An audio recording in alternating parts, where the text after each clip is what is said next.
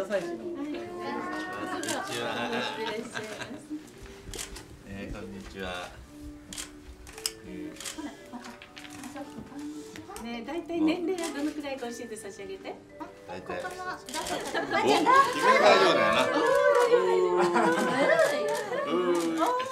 私もして元気元気。え私もしてもらしてもらおう。ですか。はい。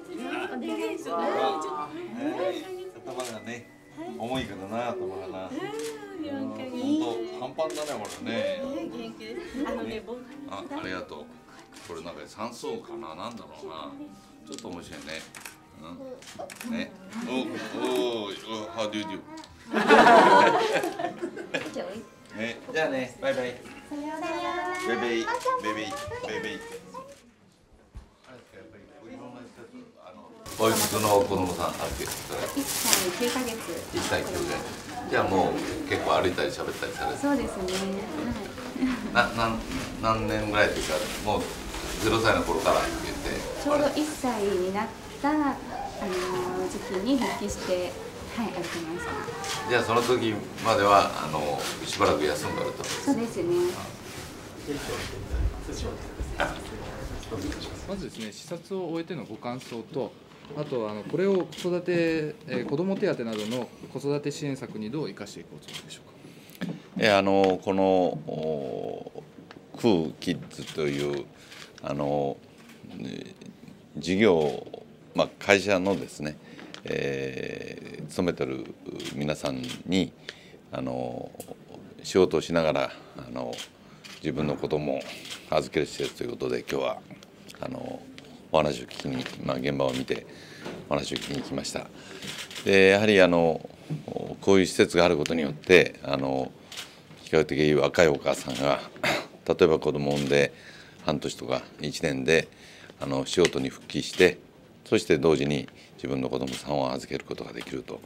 あのそういう点では大変あの素晴らしい施設だと思いました。で話をいろいろ聞きますとあのこういう施設は大変ありがたいんだけれども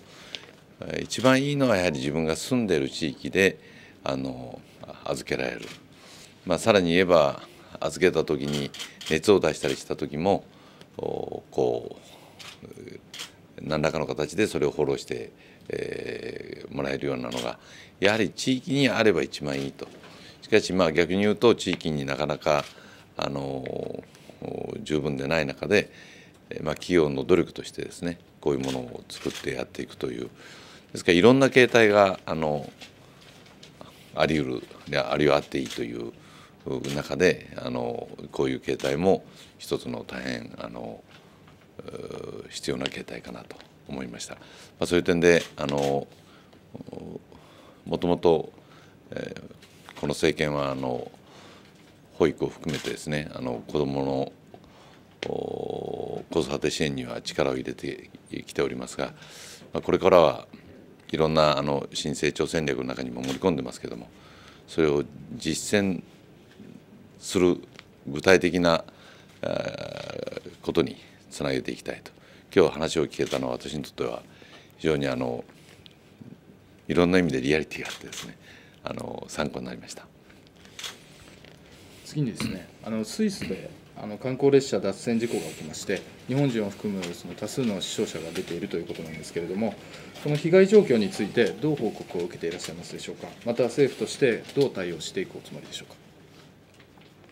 あの被害の状況あの担当者からあの報告を受けました、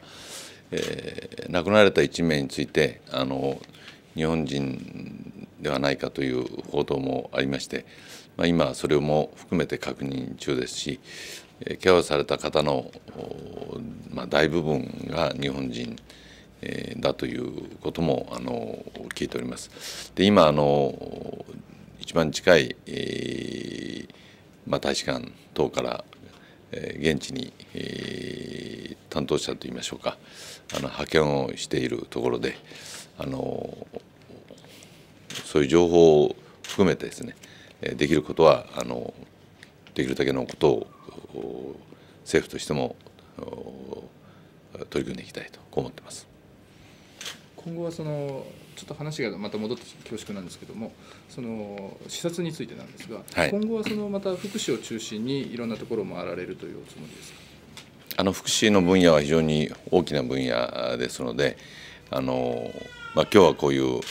まあ、いわゆる普通の言葉で言うと無認可保育所でその事業所内保育所という形でしたがあの福祉の分野もいろいろあの今後もいあのいろんなところを見て話を聞きたいと思っています。ただあの福祉に限るということではありません。まあ、場合によってはあの今いろんなあの案が出てるんですがあの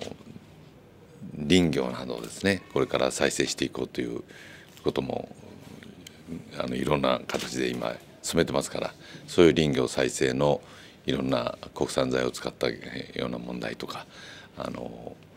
とにかく日本が元気になるためのですね、えー現場を見ていきたいと、まあ、雇用につながることがこのあの保育の問題もですね二重の意味で雇用につながるわけです。つまりはこういう施設が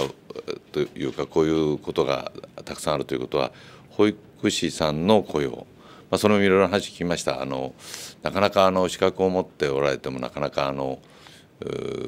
一旦辞めた方が現場に戻ってもらえないということもありますがそういう保育士さんの雇用とそれからそこに子どもを預けることによってあのまた家庭から職場に戻れるという意味の雇用もありますので、まあ、雇用というところに特にあの重点を置いて、えーその分野の中では福祉の分野もあれば場合によっては林業とかですねもっと別の分野もあると、まあ、順次あの出かけてみたいと思ってます。はい、どうもありがとうございます。